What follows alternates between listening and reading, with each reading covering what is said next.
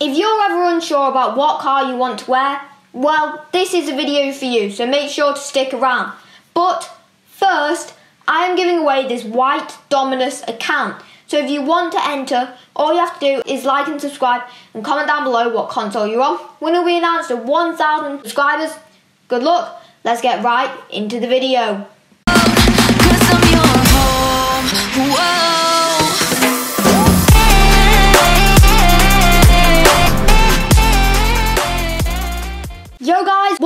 In today's video, I'm going to show you what car is the best in my opinion for Rocket League. So I'm going to go over a few factors such as like best for aerialing, best for beginners, best for more serious players.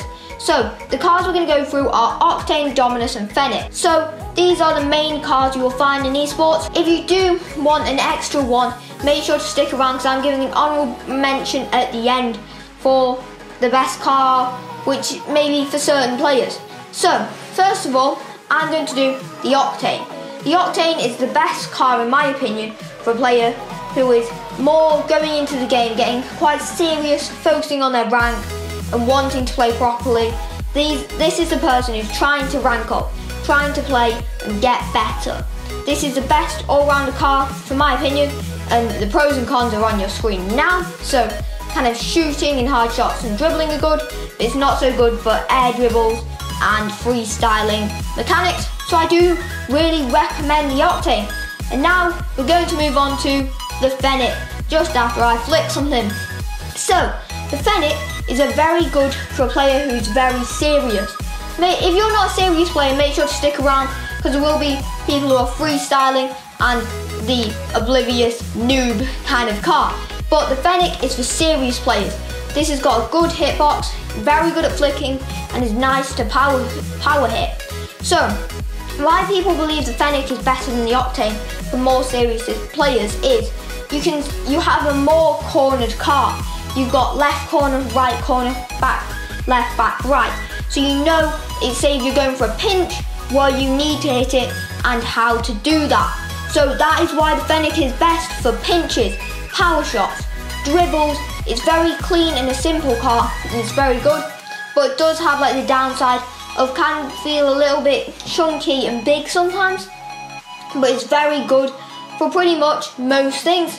So that's why people use Fennec okay let's move on to the Dominus. The Dominus is by far best for new players. The Dominus is like imagine if you're playing table tennis and you, don't want to play with an Octane do you? This kind of curved car. Maybe Fennec would be alright.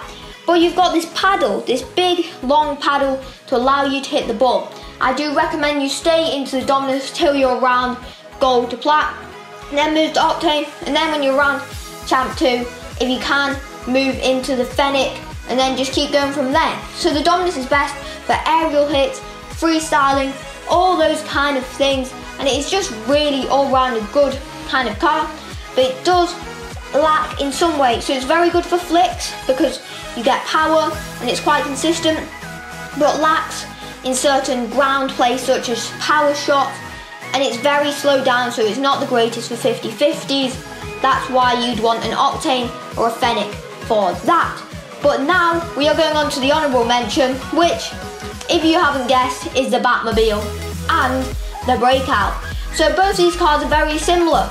So the Breakout and Batmobile are the best by far, hands down. Don't even start talking to me for your freestyle players. Comment down below with your freestyle player right now, you know. And uh, of course, yes, we've been doing this trend in the last few videos where I'm going to say a word which you need to comment down below. I will pin my comment and you've got to reply to it saying honourable mention um, or breakout of um, Batmobile. So comment down below, breakout Batmobile these are the best for freestyling, all those kind of cars. So I do recommend these. So hopefully you did enjoy the video guys. If you did, make sure to like and subscribe to keep updated with the video. The latest videos on the left side of your screen. Subscribe by clicking the icon in the middle and a random video that YouTube recommends for you is on the right. Have a great day guys. Peace out.